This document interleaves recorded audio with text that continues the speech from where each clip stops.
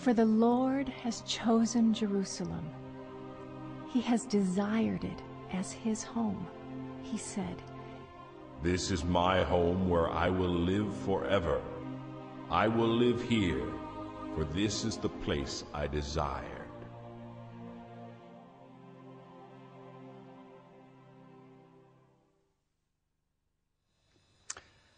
Velkommen til et program som vi har kalt for Fra Abraham til Jesus. Vi har i dag kommet fram til eh, Hebron. Abraham han har fått kallelsen ifra Gud, og han har begynt på vandringen og har kommet til Kanons land. Og I dette programmet så skal vi se på noe som er et av de viktigste kapitler som vi finner i Gamle testamentet. Og det er Arild. Ja, Da har vi kommet til kapittel eh, 22, den eh, store trosprøven, eh, der eh, Abraham hadde fått sønnen Isak, og der han får beskjed og åpenbaring for Gud og ofre Isak.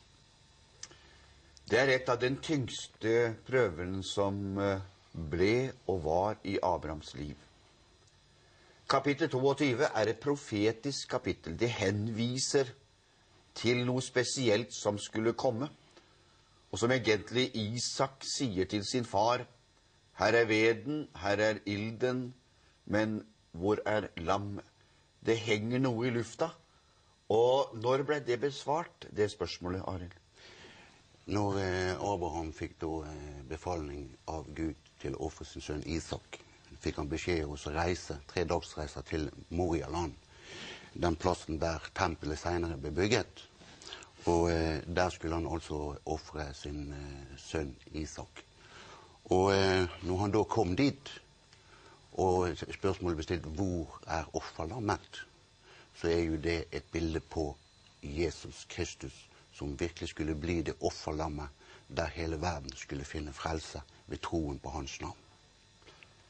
Men nå skal vi se litt på kapittel 22. Det er et så viktig kapittel fordi at det har noe med vår frelse å gjøre. Og Jeg har lyst til å si med en eneste gang i dette programmet at det er muligheter til å ta imot Jesus og bli frelst. For det offer som Jesus fullbrakte på Golgatas kors, det gjorde han en gang for alle, så det er fullbrakt. Så det er bare til å ta imot det. Skal vi se litt på dette som vi finner i kapittel 22.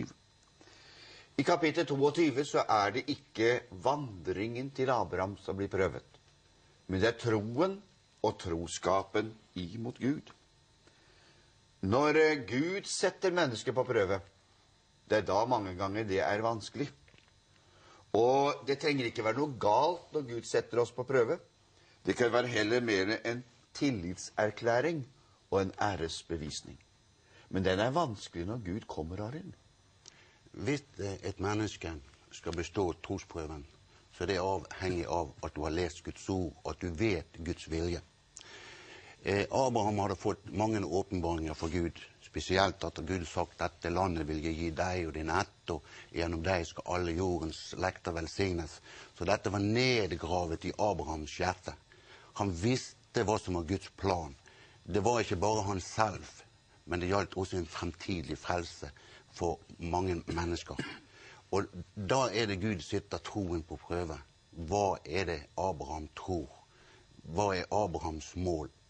Så han var villig til å ofre sin sønn for at Guds vilje skulle få fremgang i hans liv. Det var nesten som selvutslettende måtte være i Abrahams liv nettopp på dette. Ja, Det var en trosprøve som ikke vi kan komme i nærheten av å ane hva Abraham følte ved å ofre sin sønn Isak, som han fikk i sin alderdom av 100 år. Og han visste at Isak var den som skulle føre slektet videre. Så, men Abraham han konfererte ikke med sin forstand. Han lyttet til sitt hjerte. Og i sitt hjerte så var Guds ord, Den hellige skrift, nedskrevet. Han visste at han måtte gå den veien som Gud ga ham befaling for at fremtiden skulle få oppleve Jesus Kristus komme. Da er det vel inne på dette med Bibelen sier at med hjertet tror man, og med bunnen bekjenner man frelsen. Så frelse, det må ha noe med hjertet vårt å gjøre. For hvis vi i hele tatt skal få lov til å leve i dette. Eh, hvis du ser på Jesus når han kom, når han hadde fristelser i ørkenen. Vi tenker på Jesus som Guds sønn. Men også han måtte gå etter dette. Det står skrevet. Og på den måten så beseiret han djevelen i ørkenen. Det er akkurat det samme med, med Abraham også. Han måtte være lydig på det ord som Gud hadde gitt han, og det var han. Det viste han ved at han var villig til å ofre Isak. Når det gjelder Abrahams lydighet, så fikk jo den stor betydning ikke bare for han selv, men den fikk jo en veldig betydning for hele den etterkomne slekt. For hele tiden så står det at Gud sier 'Jeg er Abraham, Isak og Jakobs Gud'. Så det måtte få en veldig betydning for hele israelsfolket. Har det nokså betydning i dag, tror du? Ja, Du kan ta f.eks. Moses som et eksempel, opp, som kom over 400 år etter Abraham. Faktisk nesten 600 år etter Abraham. Og da er det Gud sier til Moses Jeg er Abraham og Isak og Jakobs Gud. Det Gud vil frem til, det er de løftene som jeg ga til Abraham, de løftene som jeg ga til Isak og Jakob, de løftene gjelder også deg, Moses. Og ikke bare Moses. Det skulle gjelde Israel, det skulle gjelde helt frem til vår tid. Så de løftene vil stå fast til evig tid, dem altså? De løftene som Gud ga, de står fast til endetiden. Når Gud oppretter tusenårsriket som Israel skal få, der Jesus Kristus skal sitte seg på tronen. De står evig fast. Og det var godt å høre, fordi at det er så viktig at Guds ord står fast. Fordi at i vår tid som vi lever i, så er det så mye som ikke står fast. Det ene sies i dag og blir forandret i morgen. Det vi trodde de sa var riktig, det er ikke riktig neste dag. Det skifter så veldig i vår tid. Men det er godt å vite at det fins i hvert fall noe som står fast til evig tid, og det er Guds ord. Har Gud gitt et løfte til oss mennesker, så er det der hele tiden. Og så har Gud gitt et veldig flott løfte til oss mennesker når det gjelder frelse. Og det er at eh, hver den som påkaller Herrens navn, skal bli frelst. Fenomenalt. Når det gjelder oss kristne mennesker, så hender det at vi blir satt på prøvelse.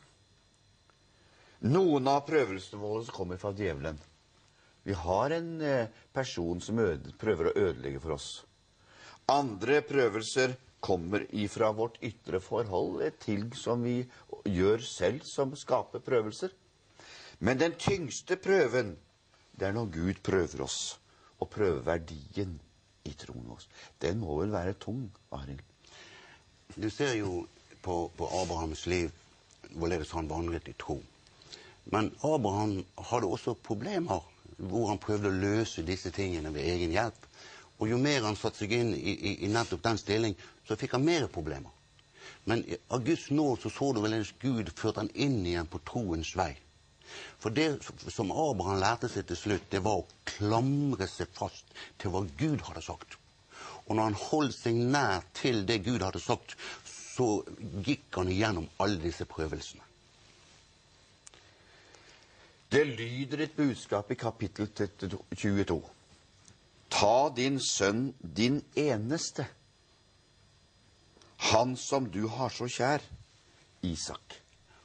Her ligger det flere små sprengstoffer.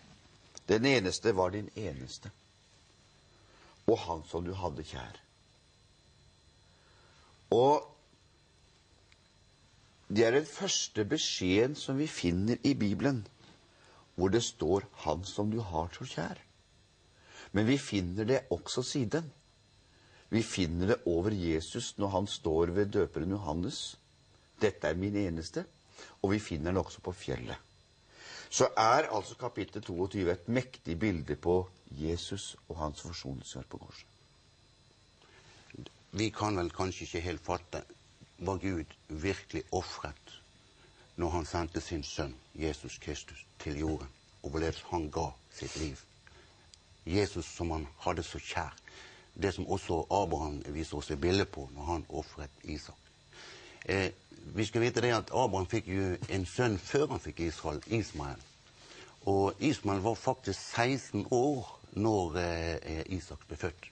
Men det var Isak ble jo født av Sara, Sara som var Abrahams kone mens Isak ble født av trellkvinnen Hagar. Så der er jo det stor forskjell. Det, Jesus han sier jo dette i Johannes 3, 16. Det er jo en parallell som går til Abraham. For så har Gud elsket verden at han gav. Det som var forskjellen på Abraham og Gud, det var vel det at Abraham ble stoppet før. Mens Gud stoppet ikke seg selv. Han fullførte. Det var fordi at Abraham skulle være et forbilde på Jesus Kristus som skulle komme. En ting som er veldig vakkert der med Abraham, det er at når vi leser om Abraham, så står det at han bygde et alter.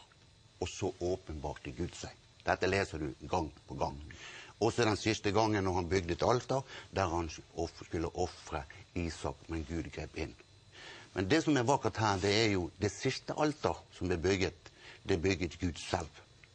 Når Jesus lå seg på alteret, dvs. Si på Golgata kors, der fullendte han. Da grep han ikke inn som han gjorde med Abraham. Troen, sies, bringer oss inn i Guds allmakt. Det som blir umulig for mennesker, det er mulig for Gud. I Hebrebrevet så tales det litt om tankegangen til Abraham.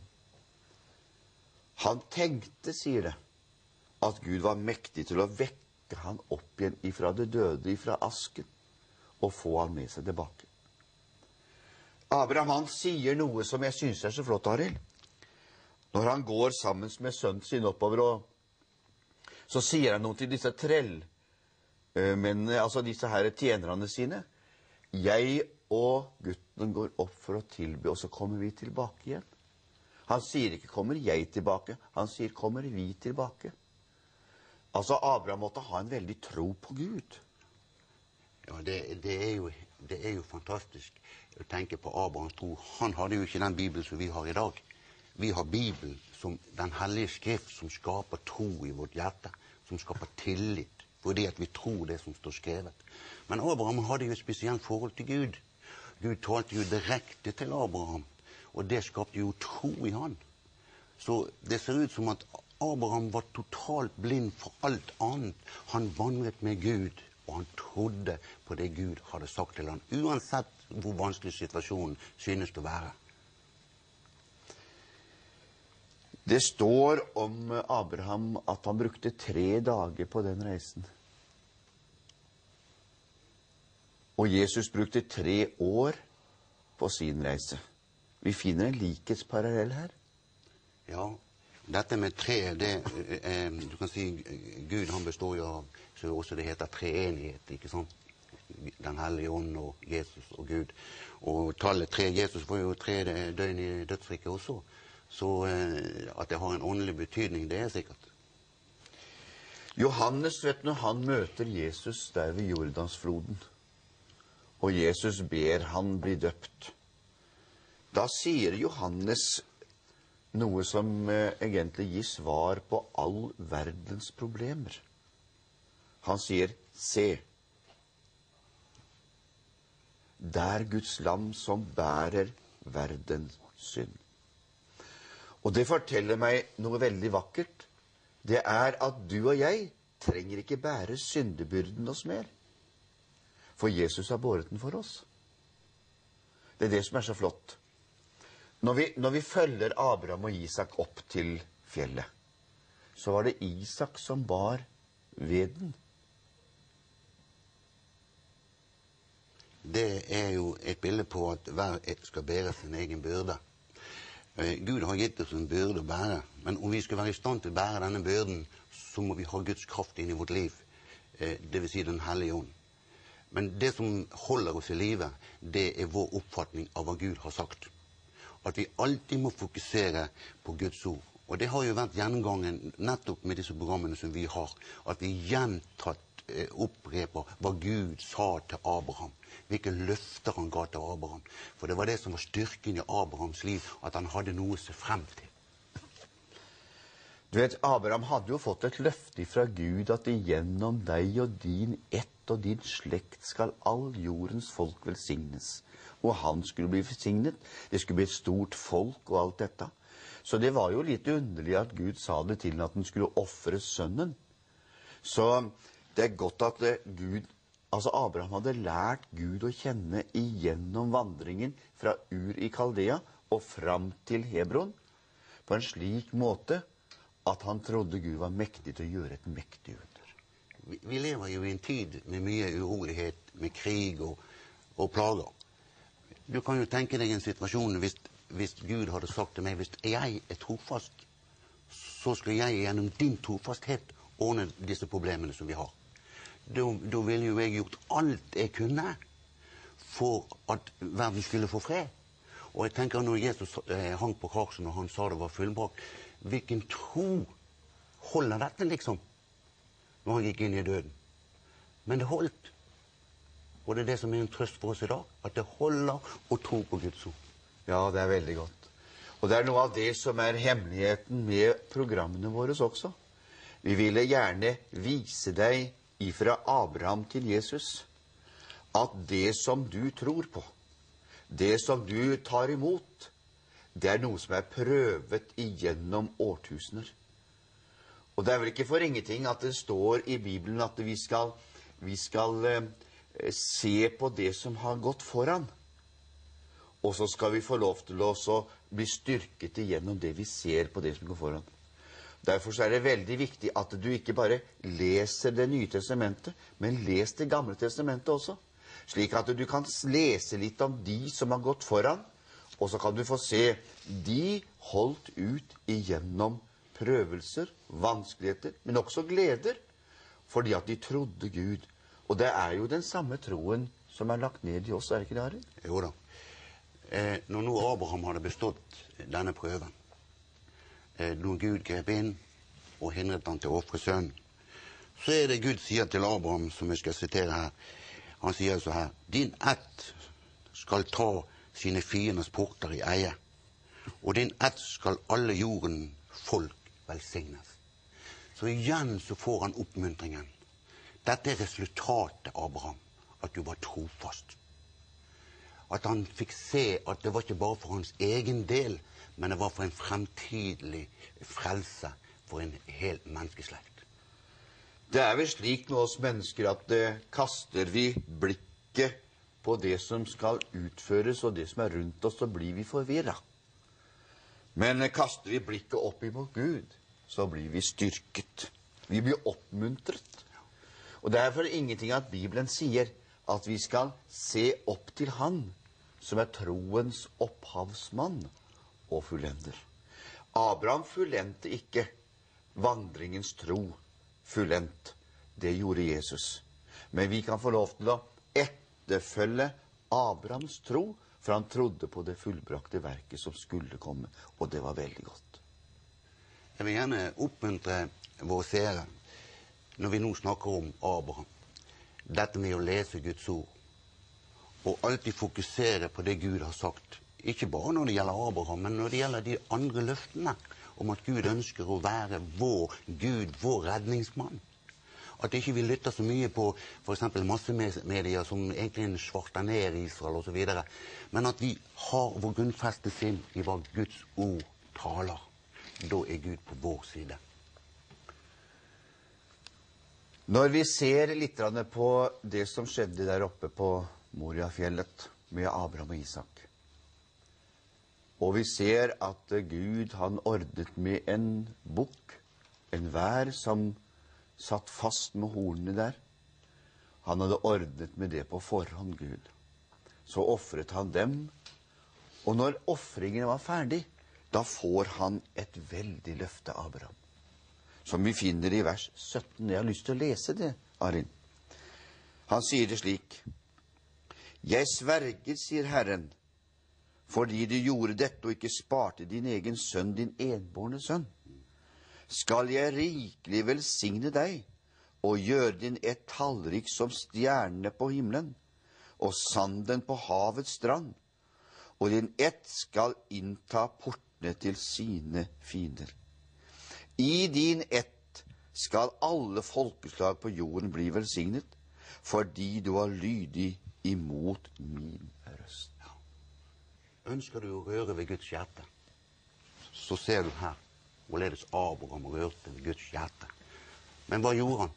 Han trodde på Gud, og så handlet han. Uansett hva det koste ville. Om han så var villig til å ofre sin sønn Isak, så hadde han gjort det.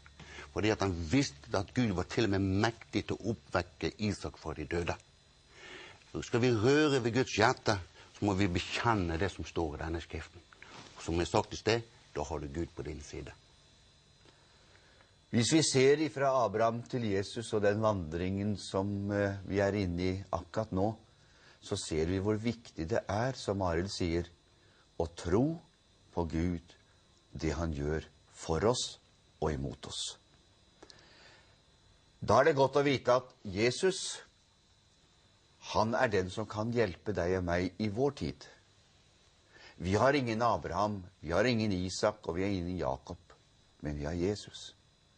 Og Jesus, han kan møte deg nettopp nå der hvor du er, og du kan oppleve at frelsen i Jesus Kristus skal bli deg til velsignelse og hjelp. Ikke bare i dette livet, men for evigheters evighet. Derfor ønsker vi deg Guds velsignelse og ta imot Han i ditt hjerte. Amen.